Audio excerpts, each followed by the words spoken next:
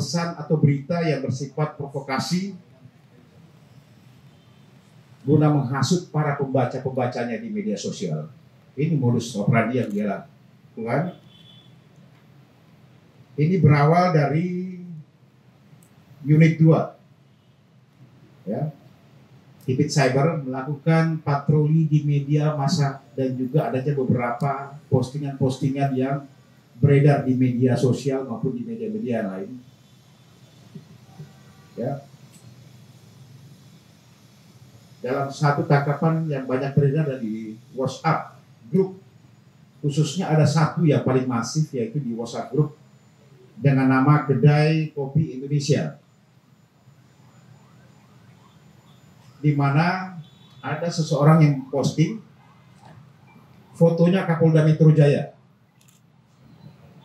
Ya dengan menggunakan pakaian lengkap pakai dinas kemudian ditulis di situ dicari orang. Ya dicari orang ini. Kemudian pembunuh bayaran. Dengan kalau menemukan orang ini segera menghubungi Mujafud Fisabilillah tetapi gambarnya adalah gambar Kapolda Metro Jaya lengkap dengan pakaiannya. Ini awalnya kemudian tim bergerak melakukan profiling menemukan siapa pemilik akun tersebut, siapa yang menyebarkan, dan berhasil mengamankan di daerah Cempaka Putih. Inisialnya adalah S, umurnya 40 tahun. Kemudian kita lakukan pendalaman terhadap yang bersangkutan, dan ditemukan beberapa grup-grup yang lain, WhatsApp grup yang lain. Di antaranya ada kosong-kosong fakta berkata dan juga di grup media Muslim Indonesia Ya. Kami cek memang yang bersangkutan sejak September yang lalu ini ikut masuk dalam grup tersebut. Kemudian memasukkan beberapa kalimat-kalimat yang memang menghasut sifatnya adalah provokasi. Ya, sifatnya adalah provokasi termasuk penghujatan kepada TNI Polri oleh yang bersangkutan.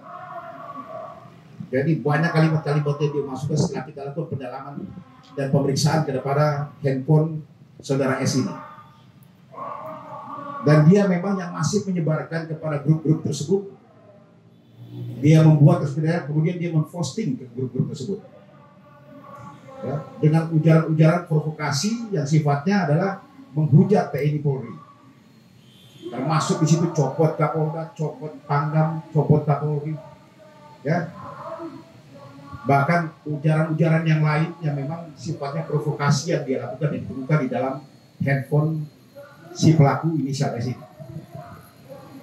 Sekarang tersangka sudah kita amankan, kita lakukan pemeriksaan dan kita lakukan penahanan terhadap bersangkutan.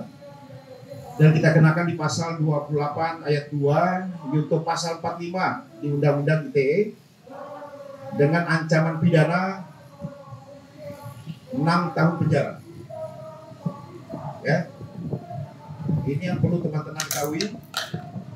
Sekali lagi, ya kami mengimbau bagi para pengguna-pengguna media sosial yang ada untuk lebih bijak dalam menggunakan media sosial.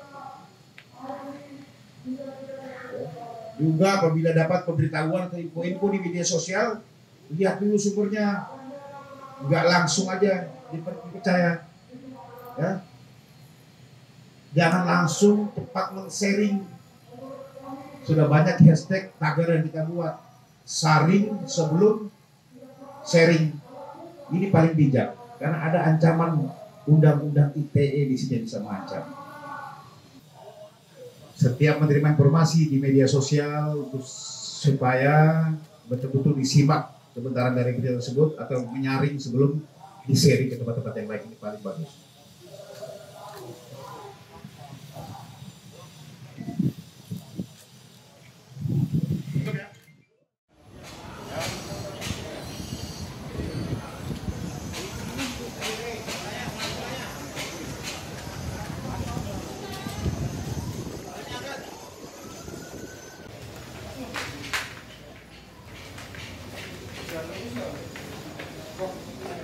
Kok, jangan